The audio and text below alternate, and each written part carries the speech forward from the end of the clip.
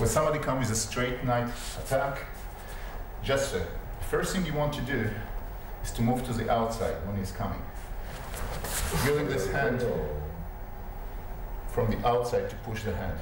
The dark side is out. This hand is grabbing the wrist. One more time. Here I am. With my legs, I'm jumping to the side. Jumping outside is right.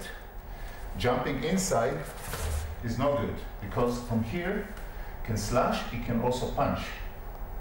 From here, it cannot do it. So I have to jump outside. Outside. Outside. Outside and grab.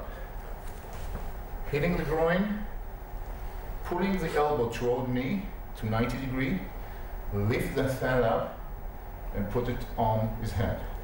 When I put my hand on his hand, I have to create a pressure at the very close point of the knuckles. Here is right, here is wrong. I have to create a long leverage. So the pressure is here. Here I'm lifting my hand up, and as I push down, I'm turning it to the side. The knife is down and I have a control.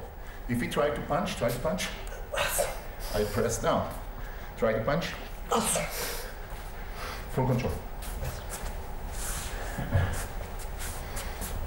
One more time, just a few more things. Grabbing the wrist has to be on the narrow side, as close as possible to where he's holding the knife. Here is right, here is wrong. If I'm holding here, can pull the hand out. I'm holding here, it's much harder for him.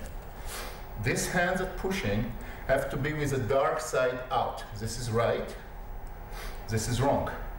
Because if I do it this way, I can bring the knife to me. If I do it this way, the knife is going away from me.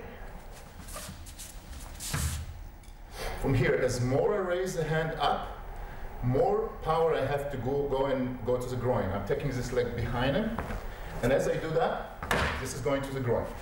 In reality, it's going to be right here. Right now, it's here. Sometime I can go from here to here. Here is better. Pulling the hand to me to 90 degree, creating the pressure, turning to the side as we learned. The knife, lift it up. If you lift it up, you cannot actually punch, you know.